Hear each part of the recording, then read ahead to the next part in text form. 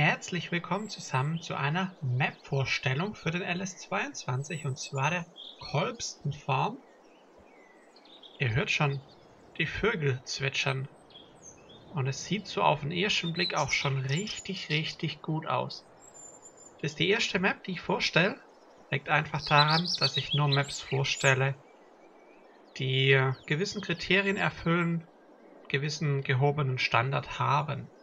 Diese Map hier ist eine Nachbildung eines echten Hofes in England in Gloucestershire.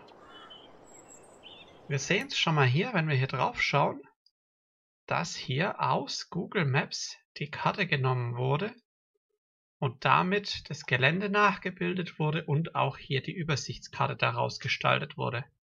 Wir sehen hier Originalbilder von der Hoffläche können da richtig schön ranzoomen.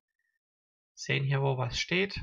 Die Felder wurden dann nachträglich eingezeichnet. Wir haben hier dann verschiedene Höfe und Weiten stehen. Wenn wir einen großen Überblick nehmen, gibt es dann hier an verschiedenen Stellen irgendwelche Verkaufspunkte, die wir uns gleich noch näher anschauen können. Und so kommt ein komplett Überblick Einfach eine richtig, richtig hübsche Map, würde ich sagen. Auch schön geschwungene Felder, nichts schön gerade, alles schön in die Landschaft eingepasst. Wir haben auch hier diese Fläche, wo hier eine Annahme ist. Wir haben hier diese Fläche und diese Fläche, die und hier unten ist auch noch ein Stückchen, die nicht als Feld gekennzeichnet sind. Und die können wir nutzen, um dort einen weiteren Hof zu bauen, wenn wir zum Beispiel das Ganze Multiplayer spielen. Und auch hier, wie es früher war, mitten auf dem Acker, da steht noch ein Baum, der wurde einfach stehen gelassen. Schauen wir gleich mal, ob das wirklich so ist. Hier als Hintergrund. Aha, Karte liegt irgendwo auf dem Tisch. Cool. Ja, insgesamt haben wir auf der Karte hier 36 Felder. Hier ist die 35, 34. Sind ein bisschen durcheinander. Es steht zumindest drin, dass es 36 sein sollen. Ich habe jetzt gedacht, da ist die 36. Was ist denn das? Ist das ein Stückchen Wald? Oder ist es einfach ein allgemeines, die Straßen und so weiter? Ja, ich würde einfach sagen, wir gehen mal rein und schauen uns das Ganze an. Wir sehen hier schon, das sind selbstgemachte Gebäude, also nicht irgendwelche von den schon bestehenden Giants Maps kopiert. Und auch sehr hübsch gestaltet, muss ich doch sagen. Da hat man sich echt Mühe gegeben. Was waren hier? Ach, Fressnapf können wir füllen. Voll, so. Und schon kommt da auch her, der Hund. Guten Appetit dir. Ja, auf Details wurde geachtet, wie hier solche kleinen Beetchen mit Blumenkohl, der durch das Parallax Occlusion Mapping natürlich auch richtig erhaben aussieht. Daneben dran ist noch ein Spaten mit Misch, ein schönes Gartenhäuschen, hier so eine Gartensitzgelegenheit und so weiter und so fort. Ich würde sagen, wir schauen uns das Ganze mal ein bisschen von oben an. Man sieht schon so, so richtig schöne alte Steinhäuser, wie man es aus England kennt. Und auch hier hinten, das muss ich euch direkt mal zeigen als allererstes. Das finde ich ein richtiges Highlight. Der Kuhstall. Der wurde einfach mal komplett selbst gemacht. Schaut's euch an.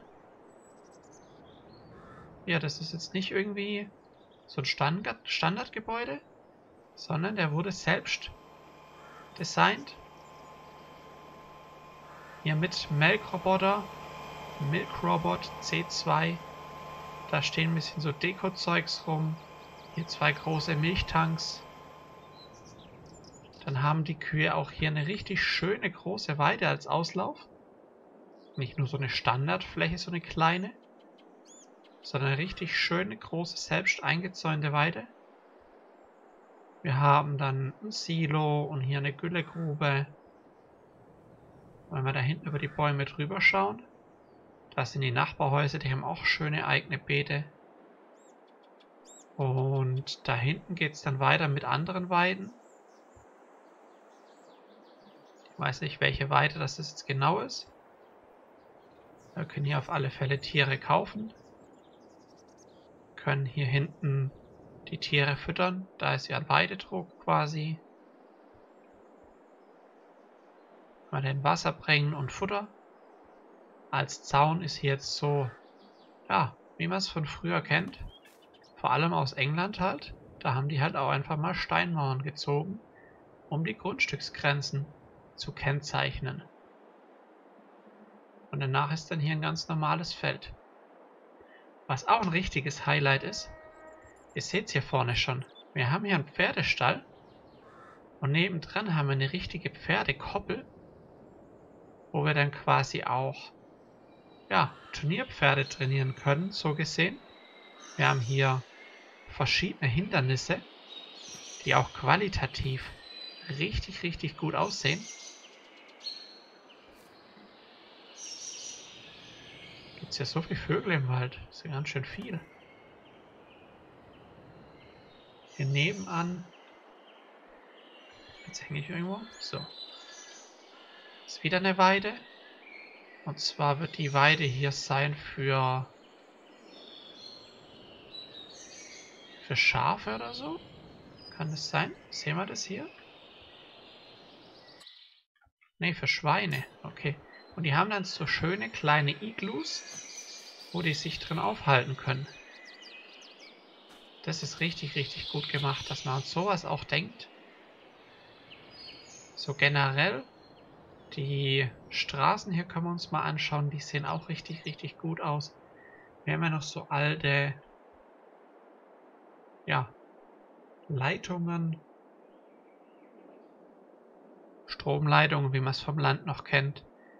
Genau, hier so ein schöner Weg. Auch hier die Felder nicht irgendwie schön gerade, sondern auch mal so eine Kante drin, wenn es sein muss für einen Weg. Das gefällt mir richtig, richtig gut. Ähm ja, insgesamt wurden über 50 neue hochauflösende Modelle erstellt für diese Map hier. Ähm wie gesagt, es gibt schon viele Produktionen, die können wir uns gleich noch anschauen und Verkaufsstellen. Es gibt auch je nach Jahreszeit unterschiedliche Animationen, wie das dann mal ein Meer draußen steht, Wäscheleine, im Herbst fallenden Bäume, äh, Blätter von die Bäume, nicht Bäume von die Blätter. Hier auch schöne englische Schilder. Wir haben britische Kennzeichen. Können wir uns gleich noch anschauen, wenn wir das erste Fahrzeug sehen. Hier der Hof, der ist auch nicht irgendwie komplett aufgeräumt, sondern wir haben hier auch natürlich ein bisschen Müll rumliegen, wie es auf den meisten Höfen so ist. Es wurden sogar die Sammlerstücke hier auf der Karte verteilt. Im Winter gibt es Schneemänner und Eiszapfen. Können gegen Ende ja nochmal vorspulen, bis Winter ist. Dann können wir uns das Ganze selber mal anschauen. Ja, hier steht noch ein bisschen was, aber da hat halt einfach der Vorgänger ein bisschen schlecht gedroschen, würde ich sagen. Hier liegt noch so ein alter Container rum. Auch hier so ein bisschen verwilderte Gegend, wie man es kennt. Wenn man da lang nicht gearbeitet hat, teilweise da dann Büsche und Sträucher wachsen. Ja, Wem das nicht gefällt, der kann auch gerne hier das Feld noch ein bisschen erweitern oder kann die Fläche dann nutzen, um, um dort irgendwas hinzubauen. Ich finde es einfach herrlich. Wie wenn man so einen, so einen alten Hof erbt und den dann übernimmt. Können wir da vorne noch schauen kurz? Ah ne, das ist ja eh unser Stall haben wir quasi das Ganze hier angeschaut. Besuchen wir mal die eine Abladestelle hier. Hier können wir Sachen verkaufen. Auch die ganzen Gebäude hier sind alle neu. Und wie ich finde, doch richtig, richtig toll gemacht. Jetzt alte Container, wo Leute keinen Keller haben, wahrscheinlich äh, Sachen lagern können. Oder ähnliches. Was haben wir denn hier? So eine Deponie. Wir können hier verschiedene Sachen abgeben. Also ist nur Deko. Wir können es nicht wirklich tun. Hier ist sogar eine Straße gesperrt.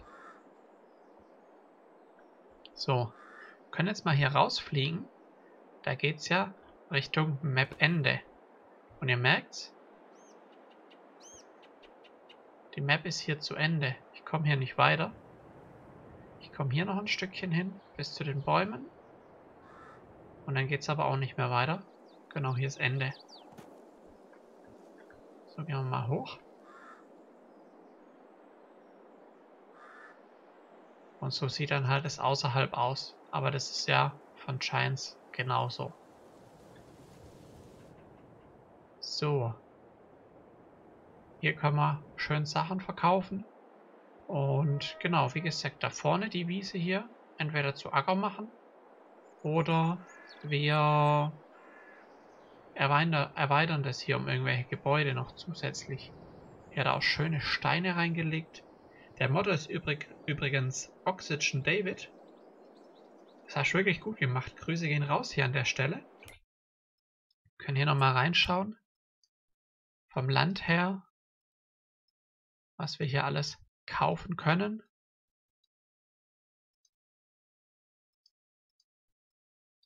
Richtig, richtig gut. Wir waren ja jetzt gerade hier. Genau. Ich habe dann da rausgeschaut. Wir können, ne, das sehen wir hier nicht. Da hinten, da gibt es eine Kalkstation. Können die mal besuchen, wie die so ausschaut. Oder hat es auch Gewächshäuser. Und hier einen schönen Biergarten mit Eisdiele und Maskenpflicht. Ganz, ganz wichtig. Oh, das sind richtig hübsche Gewächshäuser. Da wachsen herrliche Tomaten dran.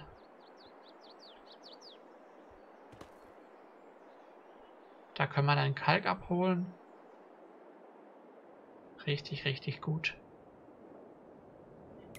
Gehen wir mal weiter. Nach hier unten. Das ist so der, der Viehhandel. Können wir dann unsere Tiere abgeben. Also richtig, richtig viel Mühe hat man sich hier gegeben. Ich komme über das Stauen gar nicht mehr hinaus. Aber was haben wir denn? Da haben wir noch was. So Gemischtwarenladen. Können wir auch unsere Sache verkaufen. An verschiedenen Triggern. Alles schön separiert hier mit Einfahrt. Und da hinten dann wieder eine schöne Ausfahrt. Das letzte, was zu sehen gibt, ist das hier unten. Oh, schöne Steine, die sind aber cool aufgeschichtet. Oder noch mehr. Hier ist der Gesteinsbrecher. Hier können wir auch Sachen verkaufen. Und hier ist eine Biogasanlage, genau. Die ist hier getrennt von. Die können wir betreiben. Und wir könnten theoretisch einen zweiten Hof hier auf der Brachfläche aufbauen. Ich finde, die ist auch richtig schön designt. So, ja, England ist ja ganz nah am Meer. So von oben, so von weiter weg sieht es so ein bisschen aus wie so, ja, etwas zu feuchtes Land, was man schlecht bewirtschaften kann, aber wenn man genauer hinschaut, sind da einfach richtig viele Steine einfach drin. Aber mir gefällt einfach die Details, die Liebe, die hier reingesteckt wurde, ist richtig, richtig nice. Wenn ihr Interesse an der Map habt, schaut bei mir in die Videobeschreibung. Da ist die Map drin. Da könnt ihr euch die runterladen. Oh, Lizard Real Estate. Da kann man quasi die 11,3 Acres hier kaufen von denen. Richtig gut. Ich würde jetzt einfach sagen, Wir schauen uns mal so ein bisschen die Timelapse an und gucken dann, wie sich so über zwei, drei Jahreszeiten die ganze Umgebung so verändert, wenn es auch Schneemänner geben soll. Blätter, die von Bäumen runterfallen. Bin ich gespannt. Ich würde vielleicht sagen, wir gehen direkt mal an unseren eigenen Hof wieder hier. Zum Haus. Das sollten wir ja theoretisch. Oh, hier auch. Richtig schöne Blumen. Das habe ich ja noch gar nicht gesehen. Auch die Büsche verändern sich. Die haben ja, wir haben es von oben gesehen, so eine Form. So ein Stangengestell, um Bohnen anzubauen. Herrlich, herrlich.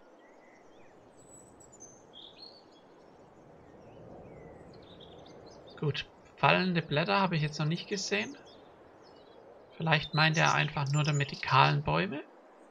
Oder es ist durch das schnelle Vorspulen nicht möglich.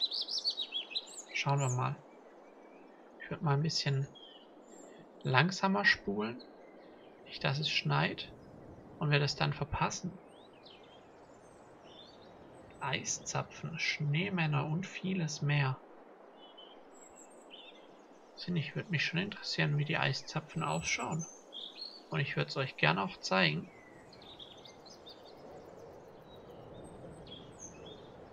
Was sagt denn der Wetterbericht so? Der sagt... Oh, heute Abend, 17 Uhr. Bisschen Schnee. Jetzt schneit's.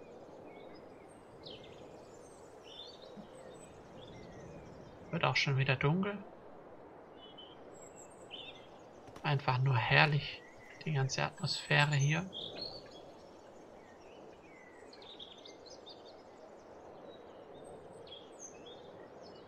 Gut, ich kann jetzt leider keine Eiszapfen entdecken. Ich weiß nicht, wann die genau auftauchen und wo die auftauchen. Vielleicht gibt es dafür einfach nur spezielle Orte, wo die auftauchen. Da würde ich einfach sagen, lasst euch überraschen, erkundet das Ganze selber.